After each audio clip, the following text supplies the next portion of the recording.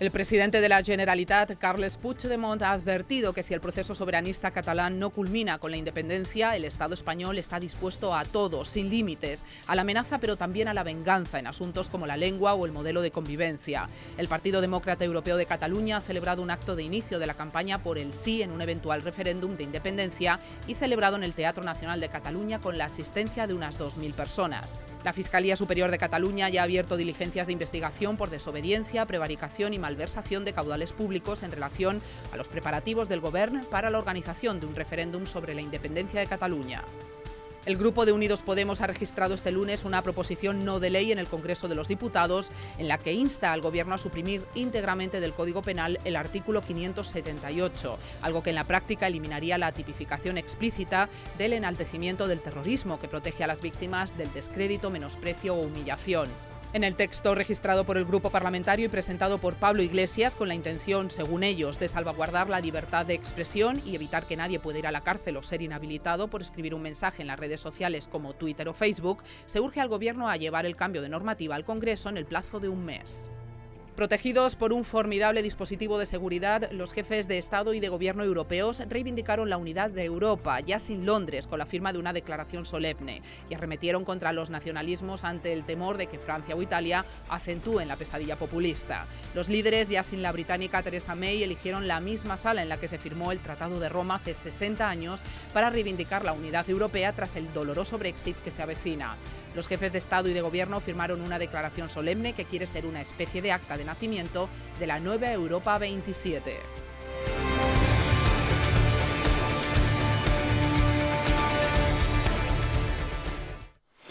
Nos vamos a Cataluña. Eh, compañeros, eh, titulares. Voy a reseñar dos de los diarios de esta última semana. ABC. Los socios de Puigdemont asaltan la sede del Partido Popular catalán para exigir un referéndum. La razón. Rajoy anuncia un plan de infraestructuras mientras Puigdemont se va de gira a Estados Unidos. Y quizá estos titulares eclipsan lo que a muchos eh, ha escandalizado. Y es la propia, por lo menos el anuncio, no hablemos de aprobación, sí de anuncio del presidente del gobierno Rajoy, de entregar 4.200 millones de euros a Cataluña hasta 2020. Es decir, en el plazo próximo de tres años, ese es el presupuesto que se anuncia desde el Gobierno para la región catalana. Claro, eh, viendo los tiempos que corren, cómo se están eh, viviendo en algunas clases sociales, cómo algunos sectores mantienen, por ejemplo, sus sueldos, sus pensiones congeladas, cómo los fondos de la seguridad social desaparecen, cómo seguimos con una precariedad laboral, cómo eh, seguimos hablando también de falta de ayudas para muchas personas que lo necesitan. Pues claro, el que se hable de estas cantidades ingentes eh, para Cataluña, mm, yo creo que ya hiere muchas sensibilidades, pero sobre todo si pensamos en cuál puede ser el precio que se pague por ello, pues a lo mejor nos escandaliza aún más. ¿Qué pensáis? Pues sinceramente yo creo que es una demostración de debilidad por parte del Gobierno, una nueva mm, demostración de debilidad, cuando por ejemplo el domingo está Rajoy en un mitin del partido, del, partido Socialista, del Partido Popular de Cataluña, el lunes le asaltan la sede, se la destrozan, la sede, la, banda esa de, no es que no sé cómo se llaman allí en Cataluña, los de Podemos, la CUP y toda esta tropa, se van allí, estos demócratas, que son demócratas de, fin de semana, se van allí a reventar el edificio del Partido Popular y el martes está de nuevo Rajoy en, en Barcelona regalando o, anunciando que le va a meter 4.200 millones de euros a Cataluña. Es decir, el 17% del, del, plan de pago a, a las comunidades autónomas se lo lleva a Cataluña, Madrid el 5%. Yo no sé qué tiene que pasar en Cataluña para que nuestro gobierno gobierno del Partido Popular o del Partido Socialista den un golpe en la mesa y les demuestren a estos tíos que manda, que manda quien manda en pues este país. Pues ¿qué tiene que ocurrir? Según el propio Rajoy, tener ayuda para ganar este pulso a Cataluña, pulso que ya con 4.200 millones por delante eh, parece que está un poco inclinado hacia uno de los lados. Pero eh, vamos a contextualizar, si os parece, y a continuación recogéis, informáis y opináis que nos pide la palabra Pablo. Escuchen. De esta manera ha sido recibido el presidente del gobierno en Barcelona por unos 80 estibadores antes de inaugurar la jornada de Conectados al Futuro. En dicha jornada Rajoy ha anunciado un paquete de inversiones de 4.200 millones de euros en materia de infraestructuras, transporte y vivienda en Cataluña entre 2017 y 2020. Entre ellas hay dos prioridades estratégicas, invertir en rodalíes con más de 400.000 usuarios al día. El nuevo plan contempla una inversión total de casi 4.000 millones de euros hasta 2025. Mi compromiso personal es que este plan sea realista, viable y verificable en todas sus etapas. Y el corredor mediterráneo, un eje intermodal desde Algeciras hasta la frontera francesa, cuyo tramo catalán ya tiene fecha de finalización. Nuestra previsión es que los tres tramos catalanes del corredor puedan estar terminados en primavera de 2020. Rajoy no ha querido obviar la deriva independentista y ha lanzado un mensaje a los empresarios catalanes. Yo quiero pedir su ayuda para ganar entre todos la batalla de la moderación, la responsabilidad y la sensatez. Les pido su ayuda y les ofrezco la nuestra, porque recuperar la concordia nos importa y mucho a todos. El presidente cree que ahora más que nunca es momento de reconstruir puentes, sellar grietas y acordar un futuro mejor compartido. Así solicita el presidente del Gobierno apoyo para, según él, eh, ganar la batalla, la batalla en Cataluña. Y por eso yo creo que la mayoría queremos seguir aunando la diversidad de los pueblos de España y unidos protagonizar ese proyecto de éxito que es la Unión Europea. Con ese propósito debemos tener claro que la concordia y el sentido común van a prevalecer porque es lo que exige nuestra sociedad. Yo quiero pedir su ayuda para ganar entre todos la batalla de la moderación, la responsabilidad y la sensatez. Les pido su ayuda y les ofrezco la nuestra, porque recuperar la concordia nos importa y mucho a todos. Les pido y les ofrezco un diálogo sensato sobre los asuntos que les he transmitido en aras del interés general y del bien común de los catalanes. Es tiempo de reconstruir puentes, de sellar grietas y de mirar hacia adelante. Les pido y les ofrezco diálogo y acuerdo para conectarnos juntos a un mejor futuro compartido. Muchas gracias.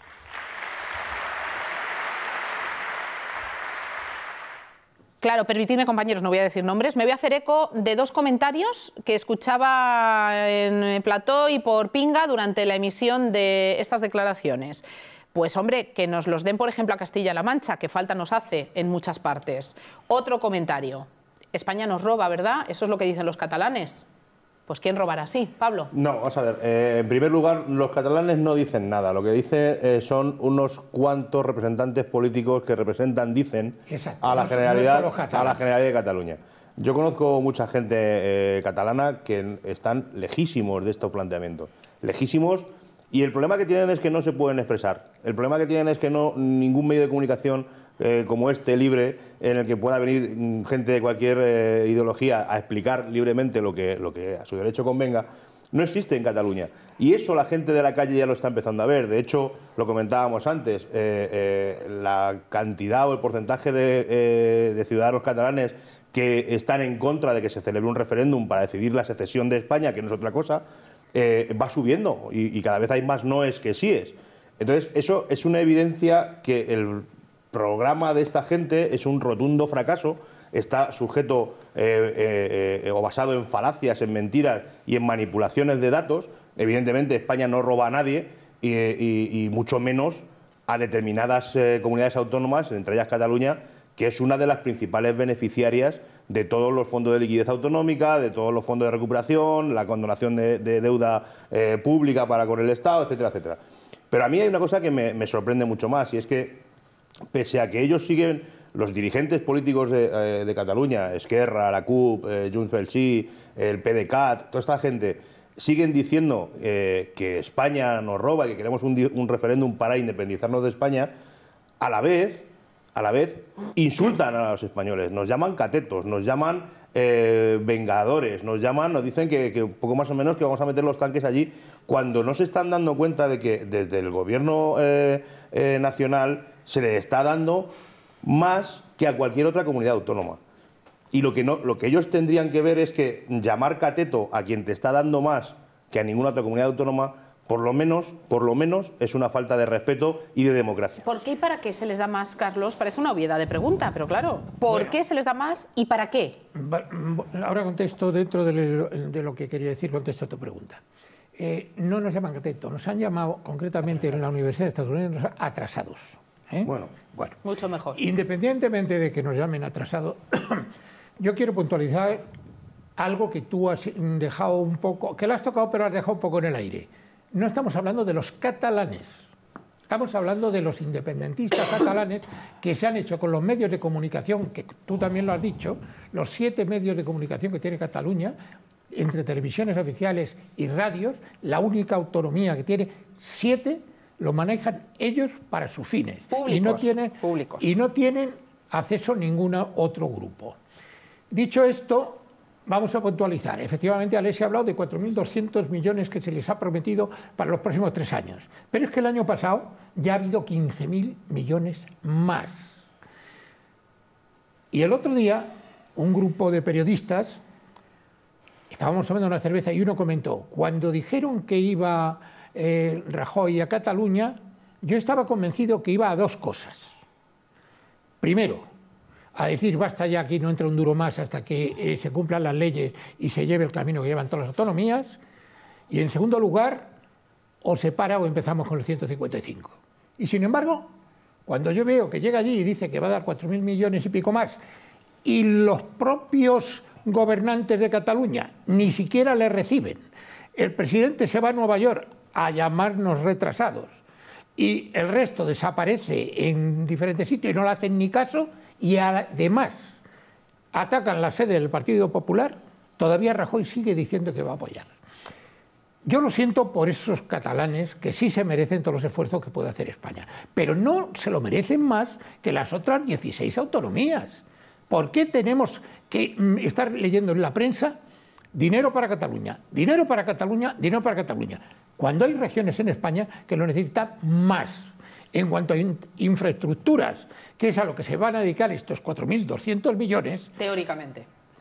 Yo puedo garantizar que Cataluña en infraestructura está por encima, muy por encima de Andalucía, de Castilla-La Mancha, de Extremadura y de 14 comunidades más. Por lo tanto, creo que las blanduras deben acabar ya. Yo he sido siempre partidario del diálogo, pero dos no dialogan si uno no quiere. Y desde el momento que se van, cuando va el presidente, ¿qué vas a dialogar?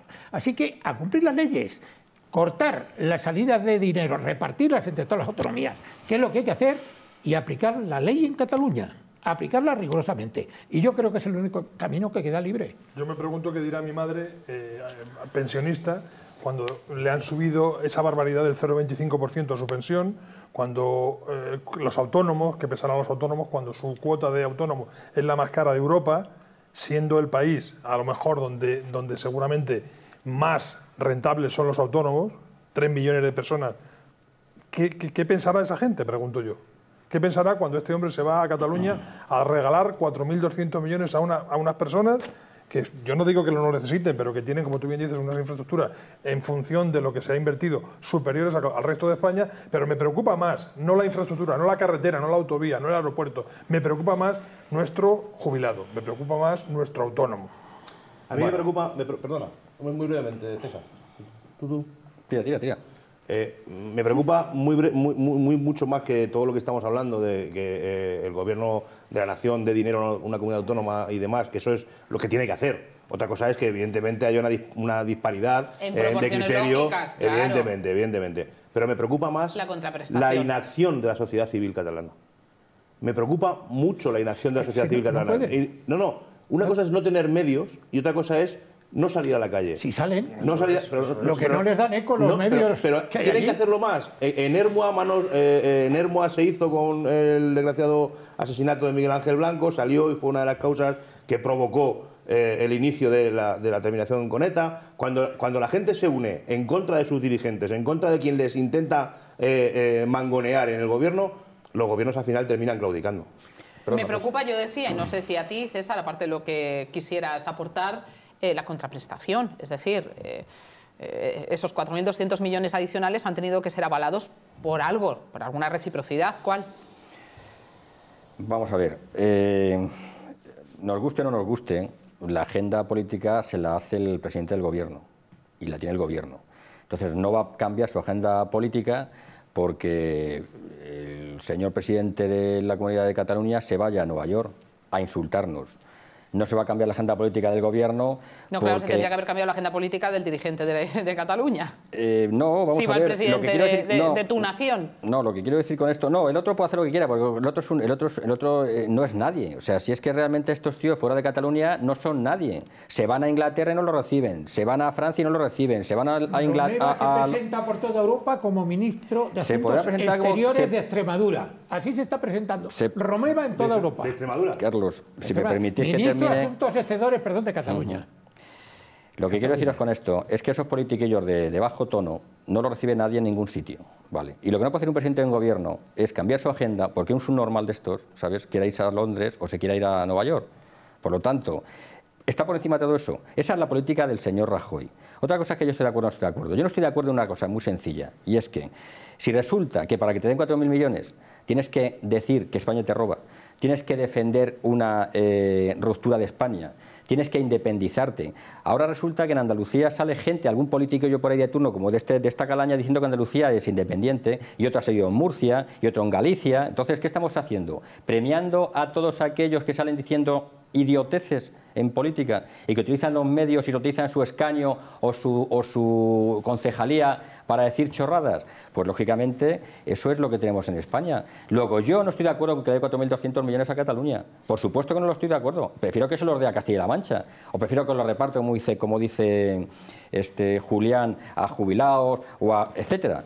Lo prefiero, pero lógicamente lo que también tienes que entender todos es que un gobierno no va a hacer su agenda política, va a cambiar su política económica eh, nacional porque un tío diga que España nos roba. Porque, como tú bien dices, Carlos, hay catalanes en Cataluña que se merecen que tenga una autopista de cinco, cinco carriles, igual que se lo merece un castellano manchego. Por lo tanto, con, una, con, una, con un agravante más, y es que en España, nos guste o no nos guste, desde 1800, desde 1800, todos los gobiernos que han estado en España, sean de derechas, de izquierdas o dictaduras, Primo de Rivera, Franco, quien sea, le ha dado y beneficiado a Cataluña. Y eso es una, es una desgracia para los demás españoles, pero ha sido así toda la vida. A ver, Fernando. Bueno, vamos a ver, yo creo que, que hay que poner las cosas en su contexto. Y su contexto está en que ni el gobierno de España ha sabido atajar el problema catalán en mucho tiempo, desde hace bastantes años, y no me remonto solamente al gobierno de, de Rajoy, que lo único que ha hecho es abundar en el problema ni el gobierno de Cataluña ha sido capaz de dar solución a los problemas de los catalanes, tampoco los ha dado solución, sino que se ha refugiado en el independentismo para, tapar su ineficacia. Y lo de Rajoy el otro día no es nada más que un añadido más a los despropósitos. ¿Por qué? ¿Vosotros creéis realmente que entre los catalanes, los independentistas y los no independentistas, ya no hablo del gobierno, alguien se ha creído lo de los 4.200 millones? O esto parece como el timo del tocomocho. Va allí, cuenta la historia. Es decir, nadie en política, nadie en política ofrece nada sin contraprestaciones. Hombre, si lo que se trata es de parar de alguna manera eh, el, derrotero independentista de, de, Cataluña, no se hace así. Así no se negocia en ningún sitio. Es un despropósito lo que ha hecho Mariano Rajoy. Un auténtico despropósito. Es decir, primero no le cree nadie y segundo no está negociando nada. Entonces, ¿a dónde vamos? ¿O es lo que pretende, es decir, se reúne con 500 empresarios y sin decirlo les deja caer aquello de si el gobierno catalán eh, se aviene a lo que realmente tiene que avenirse, habrá 4.200 millones. Y si no se aviene, los culpables de que no haya esas inversiones son el gobierno catalán. Y eso me parece más despropósito todavía. Es decir, me parece que el gobierno de Rajoy no sabe salir de este tema desde hace mucho tiempo. Y desde luego el tema tal y como está no es ir allí y predicar que van a caer, que ha caído la lotería. No se lo cree nadie, de verdad. ¿eh? Estoy seguro que no se lo cree, que se lo cree nadie, nada.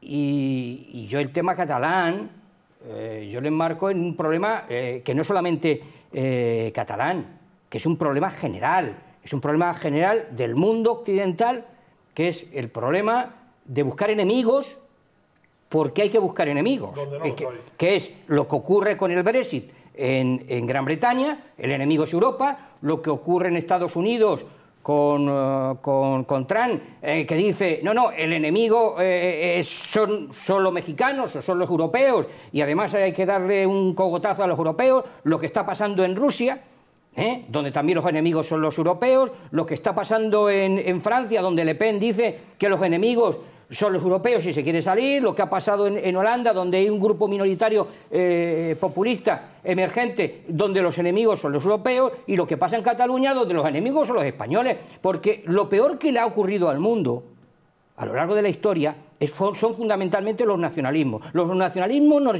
nos llevaron a la Primera Guerra Mundial, los nacionalismos pequeños, es decir, los nacionalismos del Imperio Austrohúngaro. Y luego después, eh, los, nacionalismos de nación, de Estado, son los que nos llevaron a la segunda. Y el buscar enemigos donde no existen, lo único que provoca son conflictos. Y en este caso, Cataluña ha, ha provocado, mejor ni dicho Cataluña no, los dirigentes catalanes han tratado de provocar un conflicto con España, lo mismo que en otros sitios están provocando. ¿Por qué? Porque la crisis exacerba los conflictos. Y en vez de utilizar la racionalidad, que es lo que se debía utilizar por parte de los políticos, los catalanes y los españoles, lo único que están tratando es de enfrentarnos los unos con los otros. Y yo a ese juego no entro. Yo a ese juego no entro porque es un juego perverso que no nos conduce absolutamente a nada, absolutamente a nada, porque al final en Madrid se habla de los catalanes como si todos los catalanes quisiesen la independencia y en Cataluña se habla de los españoles como si todos los españoles los robásemos y todos opinasen, opinasen igual. Y yo creo que entrar en ese juego es un juego tan perverso que desde luego no nos va a traer bien a nadie. Cataluña, es, Cataluña es una es una parte, eh, una autonomía potente, es una, autonomía fuerte, es una autonomía que han deteriorado, que han deteriorado los dirigentes eh, catalanes, el gobierno catalán, ¿eh? y desde luego lo que no se dan cuenta los catalanes es a dónde les está llevando la política del gobierno catalán. ¿Qué es lo que se tienen que dar cuenta? A mí no me preocupa, decir, si hay que hacer infraestructuras en Cataluña, a mí no me preocupa que, se hagan infraestructuras en Cataluña. Es decir, ¿hace falta infraestructuras de cercanías en Cataluña? Claro que hacen falta. Lo mismo que en Madrid se han hecho infraestructuras para, que realmente haya movilidad en Madrid y ha habido mucha inversión en ese tema. Si, los trenes de cercanías los lleva el Estado, pues evidentemente tendrá que haber infraestructuras para que eh, los ciudadanos puedan acceder a Barcelona. No se trata de aquí de hacer una guerra de unos contra otros, pero lo que no lo que no se puede hacer es coger, plantarse allí y se van a venir 4.200 millones a Cataluña. Eso no es entonces, de ¿cómo, entonces, ¿cómo lo hacemos? ¿Por teléfono? No, es de, no, pero, no os preocupéis, que todo lo que firmes en Cataluña lo voy a ratificar no estoy hablando de Zapatero, estoy hablando de lo que está ocurriendo ahora. Pero, es que me está criticando que Rajoy, presidente del gobierno nada menos, que no es el, no es el secretario de, un ayuntamiento, presidente del gobierno, se va a Cataluña y hace un anuncio de infraestructuras en Cataluña porque realmente es consciente de que a Cataluña hace falta hacer lo que tú dices que hace falta, que, es cambiar los trenes e infraestructuras bueno, escucha, esa es una opinión personal, muy personal tuya. Vale, pero lo que sí que está claro, lo, que sí que está claro es que eh, Rajoy hace ese anuncio en Cataluña. Ahora veremos si lo cumple o no lo cumple, pero lo ha hecho. ¿Vale? Y, lo, que pide a cambio. Bueno, vamos a ver. vamos a ver si todos sabemos lo que pide a cambio. pero tú, no, pero tú, tienes duda de lo que pide a cambio. una cosa, porque es que si, tienes duda de lo que pide a cambio, no estás en esta galaxia. Perdonadme. O sea, todos sabemos que. Todos sabemos... La Fiscalía ha abierto diligencias para saber si la Generalitat está preparando ya ese referéndum secesionista. Luego parece que los 4.200 millones, si han tenido la pretensión de frenar, eh, como reflexionaba Fernando, no han funcionado, Carlos. Bueno, vamos a ver, eh, lo de que la Fiscalía abre ahora diligencia para ver si se está preparando un proceso independentista, es decir, un referéndum, yo creo que le habría costado mucho. Comprendo que la justicia tiene sus tiempos y lo necesita, pero le hubiera costado menos tiempo y mucho menos dinero si se lo hubieran preguntado a 45 millones de españoles que sabemos desde hace años que sí van, están iniciando un proceso secesionista y que quieren un referéndum. Pero bueno, no es tarde. En cualquier caso, que la justicia esté en marcha es bueno. Y de hecho, pues el Tribunal Constitucional ya ha tenido unos fallos, ha hecho algunas condenas para mí cortas, muy cortas, pero bueno, ahí están. Pero no vale solamente con lo que haga el Constitucional y la justicia. Hay un gobierno y tiene que haber una acción política. Y la acción política se empieza con un diálogo y cuando el diálogo no es posible, pues a través de la exigencia. ¿Y cómo se exige a Cataluña que cumpla con la ley? Pues a través de las leyes y de la Constitución. Por lo tanto, yo creo que ha llegado el momento ya en Cataluña de dejar las palabras de lado y de empezar a cumplir la ley. Y en nuestro momento es el de publicidad. Ha llegado también, pero muy cortito. Volvemos unos minutos.